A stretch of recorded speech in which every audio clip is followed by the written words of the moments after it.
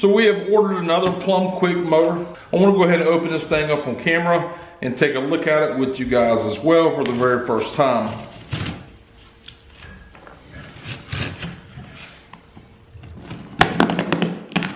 I forgot the way Plum Quick likes to ship their stuff, tape just doesn't cut it, which is good to know. Some other companies, um, they don't use anything other but than tape. If you've been following the channel for a while you remember my first unboxing of the Plum Quick Band, it was very similar to this. Had a lot of cardboard in it for packing.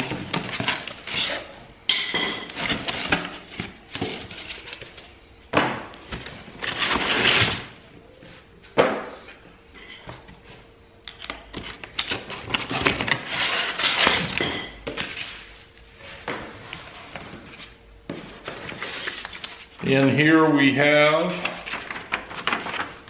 please read first. It just talks about, you know, what not to do with the motor and everything. I have a card from Plum Quick. Very cool. So you got some more pieces in here that's protecting the studs here. And remember the uh, Speed sensor was covered as well. We got down here, we got some Plum Quick stickers as well. Throw in your toolbox or your golf cart. Just Stand up to grab this. Oh, yes, sir. This one's got some weight to it. Now on this motor here, this is the PQ48-437. This is a custom built motor, class H motor rating. It's got the high performance brushes, high torque for the 48 volt Sepex IQ system of club car. This motor is rated around 14.5 horsepower and you can see speeds around 17 to 22 miles per hour and that's just going to be estimated. This right here motor is going to add around 70% more torque over your stock motor and you must upgrade the controller as well. So also flat terrain and a good quality battery pack for these right here ratings. Now I'll link this motor and other motors in the description of the video where you can check them out as well. Go over there to Plum Quick, look around, see which motor is going to fit your cart the best. So there's going to be four wrenches you're going to need to install your Plum Quick motors here. You're gonna have three mounting bolts on this side here. It's gonna take a 7 16 wrench to remove those away from the golf cart. Now as far as these motor studs here, this is gonna be two of the four. So you have two small ones and two large ones. The large ones are gonna be a half inch. The small ones are gonna be a 7 16 inch. The reason I said you need four wrenches, you're gonna need two wrenches to place on the bottoms parts of the stud of both sides and you're gonna need two to go on the top portion of the studs for the mounting nut. Now what I've done here is I've taken some old wrenches and I've put them on the grinder and I've grinded them down. These right here fit perfectly on the bottom of the studs. So I can use my ratcheting wrench to remove these if I have to or tighten them up. By doing that, the stud itself does not move inside the motor. I have a 7 16 and a half inch for doing so. I also have a 7 16 and a half inch for moving the top of the nuts as well and to removing the mount from the motor to the golf cart. Now in case you're wondering why am I replacing one Plum Quick motor with another one, this is the Plum Quick entry level Bandit. I have this on my single cab golf cart or my four seater now let me tell you a little bit about the Bandit. It's great to use with all of your stock hardware and equipment. Okay, and one reason we're going to be replacing this one, this is a limo golf cart. It's lifted. It carries like six people. It has BFG all-terrain 27 inch tall tires on 15 inch wheels. I need the maximum amount of current flow for this golf cart.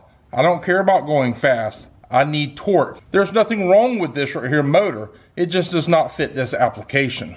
On this right here club car, it's gonna take 7 16 inch mounting bolts. There's gonna be three of them. One here, one here and one in the back back here. So off camera, you just can't see it at this angle. Like I mentioned, 7 16 let's go ahead and remove those.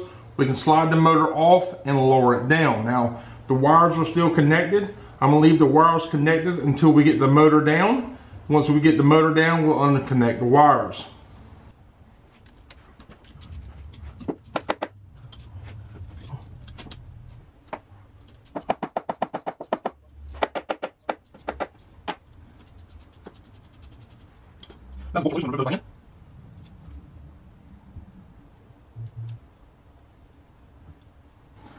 Now that we have all three of the mounting bolts removed from the differential in the motor, the motor is just not going to fall off. We're going to have to remove it from the shaft itself and slide it off and then lower it down. I'm going to say it's going to be really heavy. If you have a buddies can help you out, that'd be even better. Or if you need to go through the bagwell opening to access, that'd be better as well. So we, since we have so much room down here, I'm gonna just remove it and try to set it down lightly as is possible. I may be in the shot.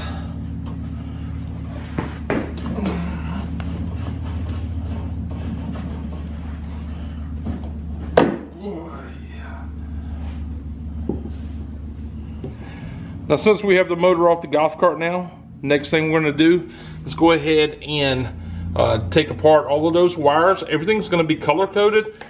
So I have the Plum Quick Bandit. This is the entry level Plum Quick motor to my left. The Plum Quick Rhino is one of their custom built uh, more torque motors that we're putting on the golf cart here, obviously. Um, but I want to do a side by side to show you the comparison in size.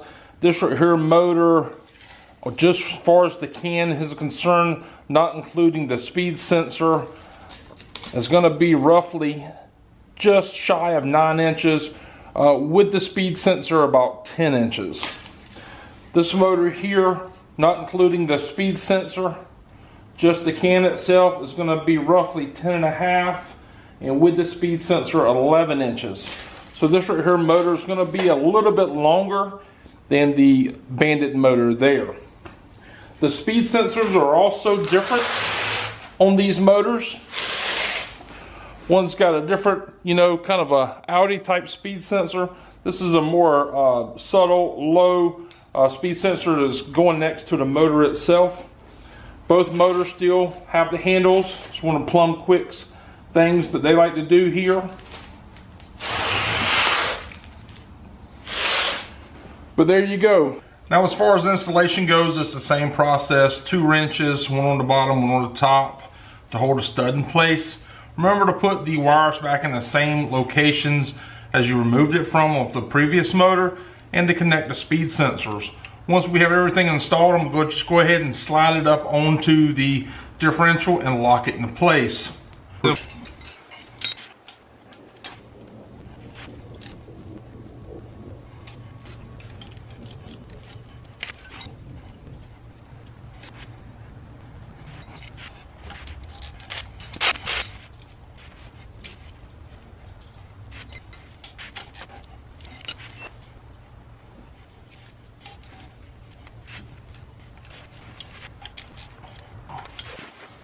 Now the wires back onto the motor. We're just gonna try to put the motor back into place and manhandle it into place. This is a heavy motor here. I feel confident I can do it by myself and get it onto the shaft. It might take a little time to do it, but I can do it. I will tell you this, these wires are the stock wires here. And uh, very soon I'm gonna be replacing these with a much heavier duty wire because we're gonna be changing the controller on this golf cart as well.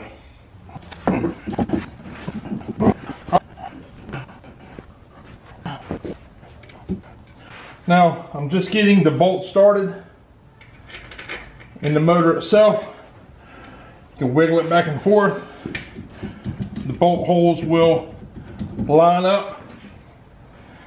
You do not want to tighten these bolts to compress the motor towards the rear end. You don't want to do that. You want to make sure to slide it up into the rear end itself.